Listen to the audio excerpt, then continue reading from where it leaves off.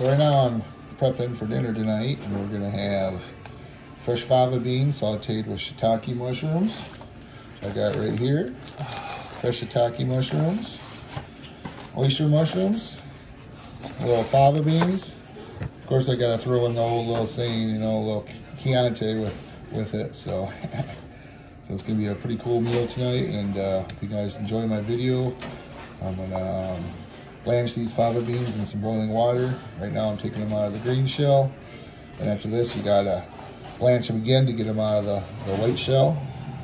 So I got these from the farmer's market today too. So um, I'll show you step by step. So it's gonna be a seared, pan-seared, I think it's grenadier fish with uh, shiitake and oyster mushroom ragu with fresh fava beans. And then we're gonna do a little um, microgreen salad of radish and pea sprouts to go on top of it. So it should be pretty interesting. I'm also in debate whether to use the purple Peruvian potato. And I got these wonderful purple carrots y'all got for me. And should be fun. And we got a good dessert tonight right here. We got we got the expert baker in the kitchen, Matt. He's producing some butterscotch cookies for us. So it's gonna be a good dinner. You guys stay tuned.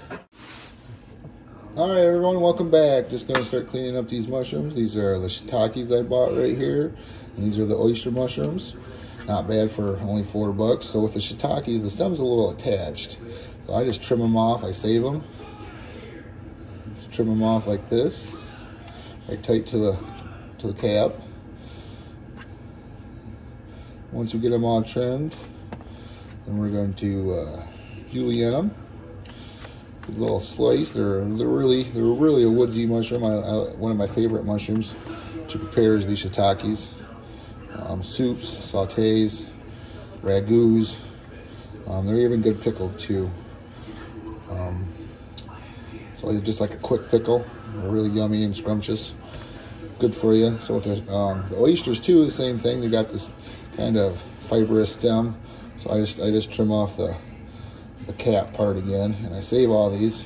These make a good stock. I'll uh, I'll pre-blanch them a little bit, then I'll freeze them. Um, then I'll either or I can even grind them up and um, use them in a saute or in a pasta dish. Mix it with some butter and garlic. Toss it with some some pasta for a light little snack. Pretty tasty. So I just trim these all up. Now in Michigan, back in Michigan, um, I harvest my own oyster mushrooms, and they these don't really have the the anise flavor like the ones I harvested, the wild ones in Michigan. So these are these are really good. Uh, Four dollars for all these mushrooms at the market today. You cannot beat that. It's locally grown, supporting supporting the local farmers. So, well, let me grab my chef's knife. I got my chef knife already here. I'm gonna start julienne some of these caps up. Got my water just about ready. Kind of brush them off a little bit. I took a just julienne them. I'm gonna cook all these up tonight, the shiitakes at least. So remember, always keep your fingers back. Proper knife skills. Put a couple of them together, makes it a little easier. And as soon as this gets done, julienne these shiitakes. I'll I'll start on the um, blanching the fava beans because they got like two two shells. There's a bean inside of a bean. I heard earlier when I was watching um, a couple videos. So I'm gonna put all my, my caps over here, off to this, all the stems over there to the side. I'm gonna turn down my boiling water here. Salted the water. Um, helps keep the, the brightness of the the um, the bean instead of having a dark dark um, green, army green I call it. And there's a rule when you're uh, blanching vegetables. So anything above ground, you start off with boiling water. Anything that grows below the ground, potatoes, beets, parsnips, carrots, you start off in cold water, then you bring it to the boil with the product in it. So with broccoli, cauliflower, um, beans, um, green beans, you always start with a rolling, rolling boiling water. And um, heavily salted. Um, and that just helps retain the color. And that's the proper procedure I was taught. So I'm gonna turn this camera over here now. We're gonna blanch these. Gonna, let's put this in the water here. This camera around. We're gonna go there just for a couple minutes. Grab my spoon. Got my ice bath right here. That I'm gonna use to shock them. Get this going. About mm, minute, two minutes in the water. Should be plenty. Got my ice bath here.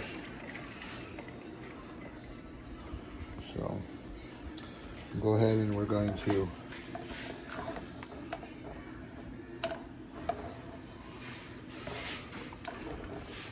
go ahead and do this here in a second. Just about there. I'm gonna check one real fast. Right here. Check one of these beans and see if they start to pop out of their, shell yet. Not yet. Not yet. Just let them go for a couple more minutes. Patience, patience.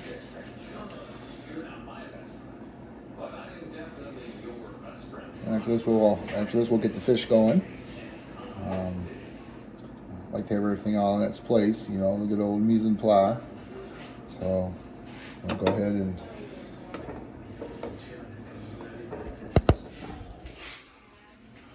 see if I can get this down here like this.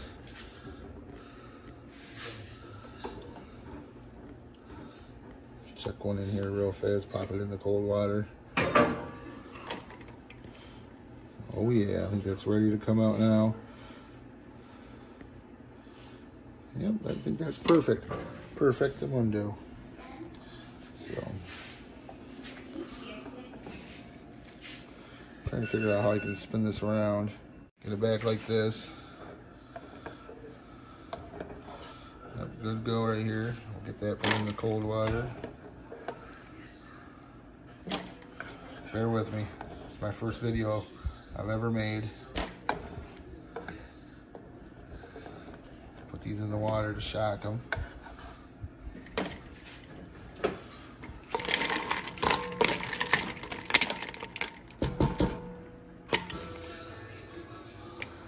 Yeah, so we're gonna let them cool off in the water. I'm gonna take one right here. Let's see. Pop right out of the shell. Oh, there we go. Just like that. Perfect little bean. Nice green. Beautiful. I'll grab another one. Oh, you just feel that shell come right off there. Free up from the little bean pod. So we're gonna get these shelled. I'm gonna come back. We'll start um, the next project. We're gonna get the fish out. We're gonna season it. We're gonna pan sear it. Saute up the, the shiitake mushrooms with the fava beans. Um, I'm thinking a little sesame oil, no olive oil, maybe a little balsamic. Um, then we got the purple carrots. We'll get some of them put in there and uh, maybe do a shaved purple carrots with it. That'll look kind of nice. And then we'll, we'll, get the fish. The fish is right over here. Oops, Fish is right in here. There's the fish there, Wild Caught USA. Grenadier. So we're gonna get that going and then we're gonna have a great dinner. Hope you guys enjoying this so far. Here's my little microgreens I got from the farmer's market. So we got radish, then we also got some pea tendrils. These radishes are really, really spicy. I like them 10 times more flavorful than actually a real radish. So those are pretty cool. Those we're just gonna toss with just a little bit of olive oil, a little bit of salt, and uh, a little bit of pepper. So just simple, put that on top of the fish with our ragu and our shaved carrots, and uh, gonna be really tasty. All right, guys, stay tuned. All right, now we're gonna start with the fish here. We're gonna get the fish seasoned. A little salt and pepper. salt and pepper on the fish.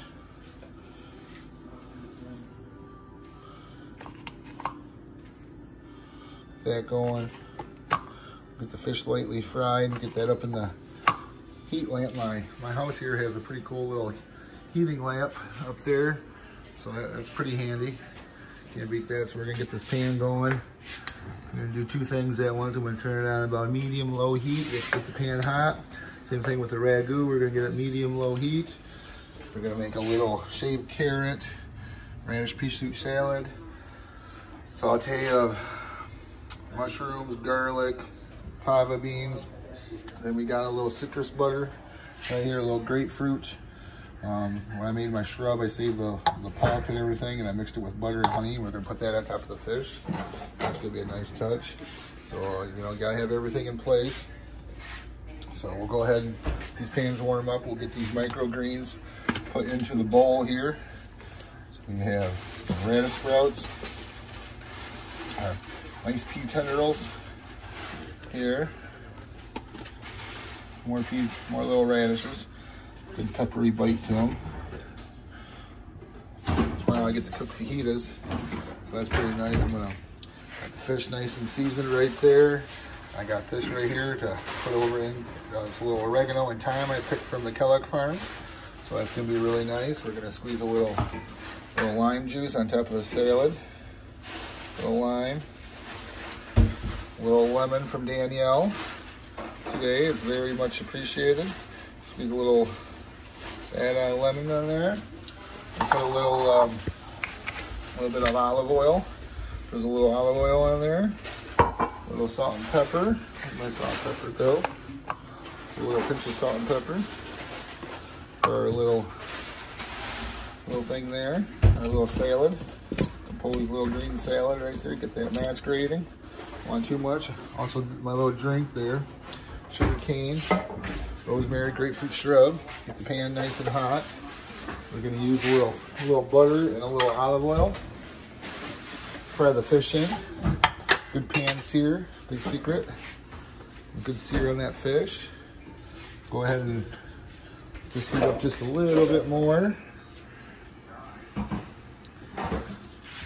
Get heat up there about medium now. You can always turn it down. But you want to make sure you have a good, good, squeeze a little bit of it. I got to make sure this fish is nice and dry, which I have. So we got that going. The fish is going to be going here in a second. Nice, nice fish there. Oh my god get that going. Got a ragu pan going. Go ahead and add a little Get some butter going for our ragu. Um, nice good sear in there. I'll start off with these carrots, these carrot hearts.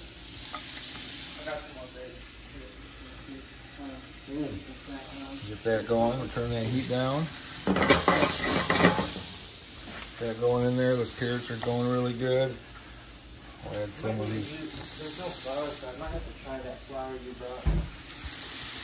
And a little mushroom is going in there. I don't think that. I don't think. What do you guys think? We're, we ran out of white flour, all-purpose flour. We're use whole wheat in our banana bread. I don't think it should be no issue, guys. Let me know. You're doing it Okay. tomorrow. We're gonna do. We're gonna do a little butter in the pan for the fish. We're gonna fry the fish in with a little bit of homemade rosemary oil I got right here. Little little rosemary oil in there with it. Helps that butter from burning, even though it's dissonant my maple syrup thing. The ragu going. Fish ready almost. Ooh, nice hot pan. Hear that sizzle. The fish in there. Oh, that smells so good. This is gonna be wonderful. The secret is don't touch it. Be patient. Patience is a virtue. Don't want to cross-contaminate the salt and pepper. One more salt and pepper on top of the fish. Let that fry. Nice even heat. And after this, I get to cook my roommate some steaks tonight for him. Pretty honored about doing that. Get that fish going. Going. add these carrots into the salad over here. We have a little compost salad. That looks nice. Looks nice right there. I don't know, we can put them on the grill. I think Yeah. Huh? You cook them on the grill here in a second. Just give me one second to get this done. Yeah. And fried. Is that, is that good? Mm-hmm. The filet? Boy, Oh yeah. we'll have to open every door. We got that going. Getting that going. Then we're gonna add the fish is going.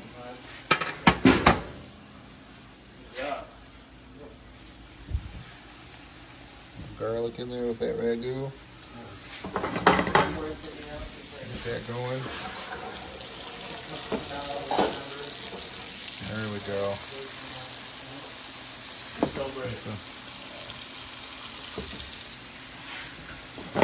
Go back again.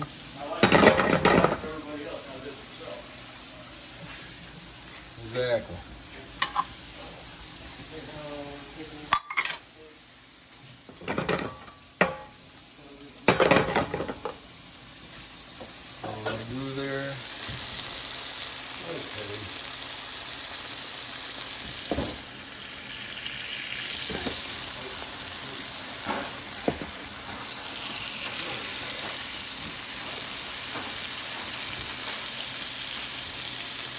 Just about ready.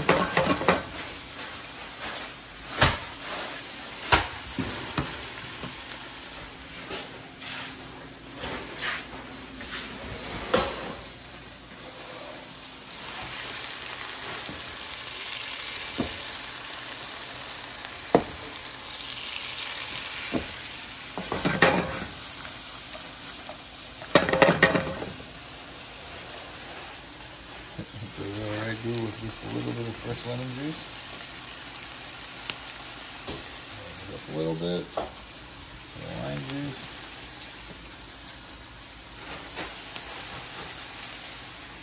A little bit of in there. Thyme and oregano and the place in the ragu. This is just about ready to be flipped.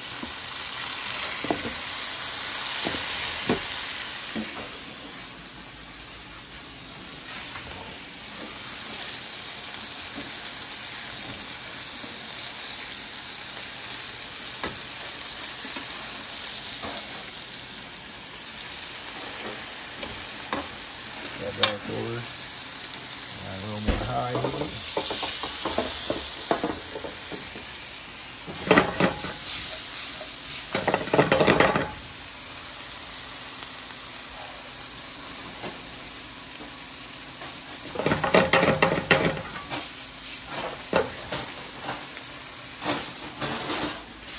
A little salad right there, looking good.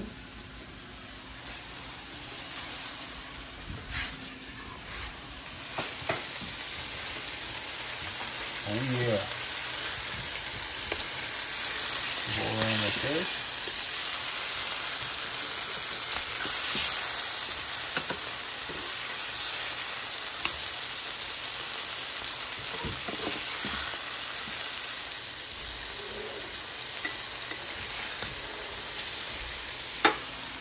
Hit it with just a little bit of this grapefruit butter as soon as it gets done.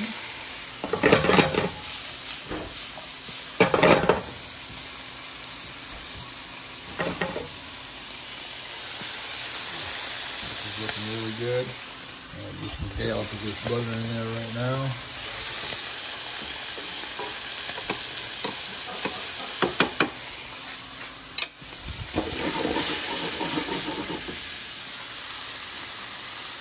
This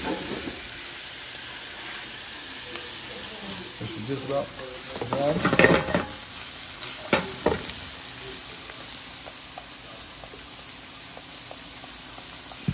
A little more salt and pepper. And be a little more salt and pepper on the hash. We We'll get the nut. Heat lamp for now. In a professional kitchen.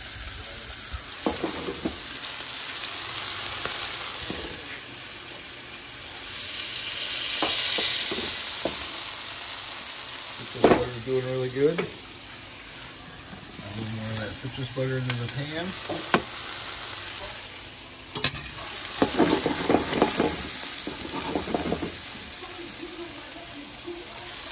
Just up there, get that butter all nice and melted with honey and grapefruit rind and simple syrup.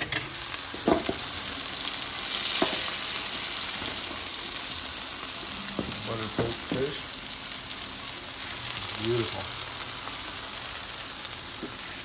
Put that up there. All right, guys.